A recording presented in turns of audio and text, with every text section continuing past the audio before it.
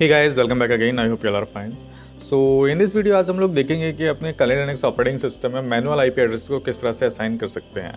Actually there is a two different method for assigning a manual IP address in our Kali Linux operating system that is G U I based and command line based तो चलिए हम लोग पहले command line को try करते हैं। So first open our terminal so here we can execute a command which is I F config और I F so here you can see on my screen जो अभी मेरी सिस्टम का IP address है, वो है one eighty two dot one sixty eight dot one eight six dot one three six वहीं पे अगर सबनेट मैच की बात करें तो यहाँ पर हमारा two five five two five five two five five dot zero जो कि सी क्लास का आईपी एड्रेस है। बट यहाँ पर अभी आई एफ़ कॉन्फिक की सेटिंग में हमें गेटवे शो नहीं हो रहा है। सो गेटवे शो करने के लिए हम लोग एक दूसरी कमांड एग्जीक्यूट करते हैं which is route space hyphen N so here you can see जो मेरा गेटवे है सिस्टम का भी one nine two two dot one sixty eight dot one eight six dot two है। तो ये जो आई पी एड्रेसेस हैं वो अभी मेरे D H C P server के थ्रू फैच हो रहे हैं। तो चलिए देखते हैं कि हम इन आई पी एड्रेसेस को अब मैनुअली किस तरह से सेट कर सकते हैं। सो so, मैं अभी अपने टर्मिनल के स्क्रीन को दो पार्ट्स में डिवाइड कर लेता हूँ, जिससे मेरा एक साइड में जो भी मेरा I P address D H C P से वो असाइन हो रहा है and then left hand side में हम लोग मैनुअली कॉन्फ़िगर करेंगे। सो मैनुअली कॉन्फ़िगर करने के लिए हमने कमांड एग्जीक्यूट करनी है which is sudo and then I F config and then हमारा जो इथरनेट जो भी मेरा इथरनेट अडप्टर है, जिस पर हमने मैनुअली आईपी सेट करना है, उसका नेम जो अभी मेरे केस में ई ज़ीरो है देन आई पी एड्रेस तो मैं यहाँ, अभी जो मेरा आई पी एड्रेस है, वो one eight six dot one three है बट नाउ मैं अभी चेंज करना चाह रहा हूँ तो जो मैं अब आई पी एड्रेस रख रहा हूँ, वो है one eighty two dot one sixty dot one eight six dot two zero and then subnet mask same ही है सेम ही रखते हैं. जो कि सी क्लास का है two five five two five five two five five dot zero and simply hit the enter तो जैसे ही हम लोग एंटर हिट करते हैं, ये अभी सीडो परमिशन के लिए पासवर्ड पूछ रहा है so give it to the password and ये हमारा आई एड्रेस अब यहाँ पर सेट हो चुका है। ना अब हम लोगों का यहाँ पर आप राइट हैंड साइड में देख सकते हैं कि अभी जो मेरा डीएचसीपी से गेटवे था, वो अभी मेरा यहाँ से हट चुका है तो सो हम लोगों को अब गेटवे असाइन करना पड़ेगा। तो गेटवे असाइन करने के लिए हम लोगों ने कमांड एग्जीक्यूट करनी है which is sudo route add default G W G W means gateway and gateway IP address जो कि हमारा है one two dot one sixty eight dot one eight six dot two and and so here is a message display that network is unreachable okay let's try again तो हम लोग यहाँ adapter का भी नाम देकर एक बार ट्राई करते हैं. So again the same message is displaying on our screen so don't be panic I think हम लोगों को भी नेटवर्क सर्विसेज़ अपनी रिस्टार्ट करनी करनी पड़ेंगी एक बार. तो चलिए एक बार नेटवर्क सर्विसेज़ को रिस्टार्ट कर लेते हैं. With the help of command sudo system C T L restart networking and and restart network manager so यहाँ ऊपर आप देख सकते हैं कि अभी हमारा नेटवर्क मैनेजर डिसेबल होकर इनेबल हो रहा है। तो ये सर्विसेज़ हमारी रीस्टार्ट हो चुकी है and now execute the same command again so here you can see अब हमारा डिफ़ॉल्ट गेटवे भी यहाँ पर सेट हो चुका है। No let's clear the screen first and check again so right hand side में आप लोग देख सकते हैं कि अब हमारा जो आईपी एड्रेस है वो one eight six dot one three six से चेंज होकर one eight six dot two zero हो चुका है। एंड वही हमारा जो डिफ़ॉल्ट गेट पे है, वो भी हमारा यहाँ असाइन हो चुका है। चलिए एक बार पिंग करके चेक कर लेते हैं कि क्या हमारा डिफ़ॉल्ट गेट पे यहाँ से पिंग हो रहा है नहीं। तो आप देख सकते हैं कि हमारा डिफ़ॉल्ट गेट पे अब पिंग होने लगा है।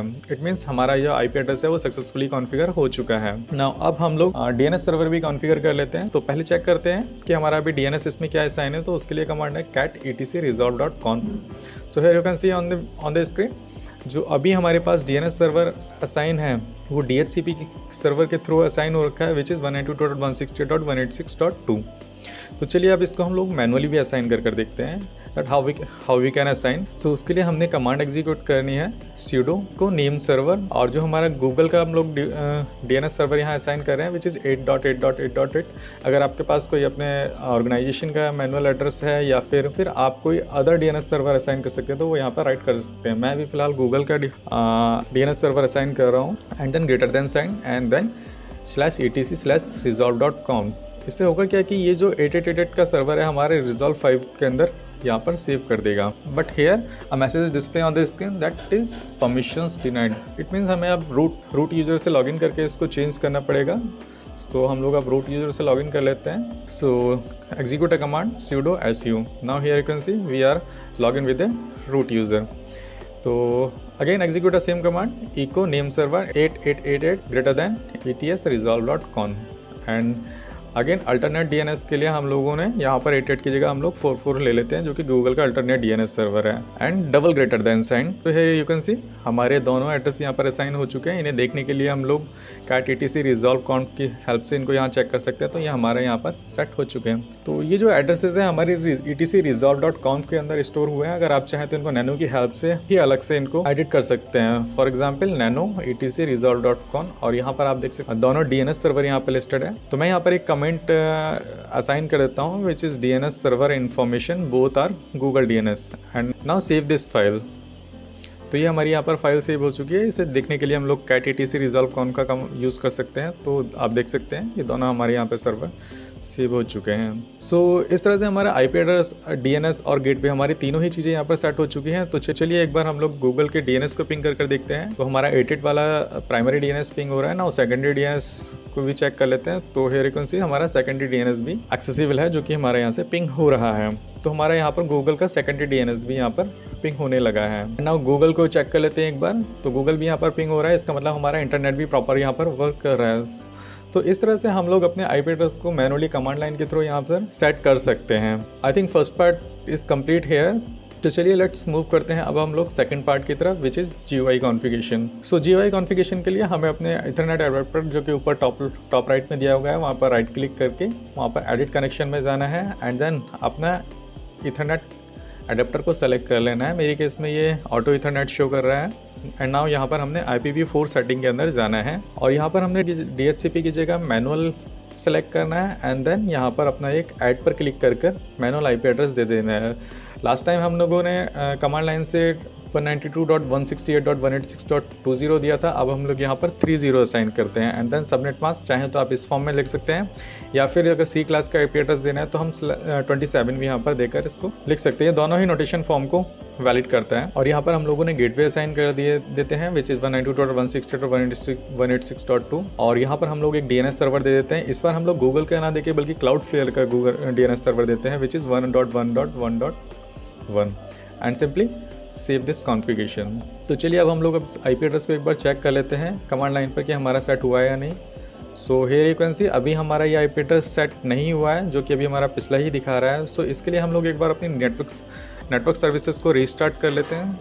And now check again so here you can see हमारा जो आई पी एड्रेस है अब यहाँ पर जी के थ्रू सेट हो चुका है which is one eight six dot three zero so so, एक बार हम लोग गेटवे भी अपना चेक कर लेते हैं। गेटवे भी हमारा सेट है यहाँ पर और डीएनएस सर्वर भी हमारा यहाँ पर देख लेते हैं। सो so, डीएनएस सर्वर भी हमारा सेट हो चुका है। सो so, इस तरह से हम लोग जियो मोड के थ्रू भी अपने आईपी एड्रेस को मैनुअली कॉन्फ़िगर कर सकते हैं और गेटवे और डीएनएस को भी यहाँ से मैनुअली कॉन्फ़िगर कर सकते हैं जो कि काफ़ी ईजी है as compare than command command line तो चलिए अब हम लोग एक देखिए जी के थ्रू हम लोग इसको डी सर्वर पर वापस रिवैक कैसे कर सकते हैं? तो उसके लिए हमें फिर अगेन से एडिट कनेक्शन में जाना है और अपने आई सेटिंग के अंदर जाना है।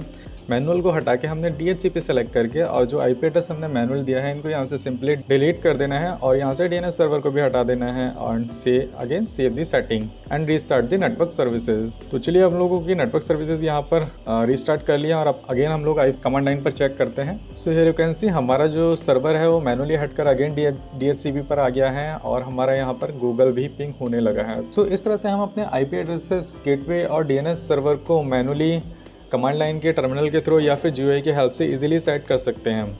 So I hope this video would be informative and helpful for you soon we will be meet another session till then be happy and enjoy your time thank you so much for your valuable time and your love and support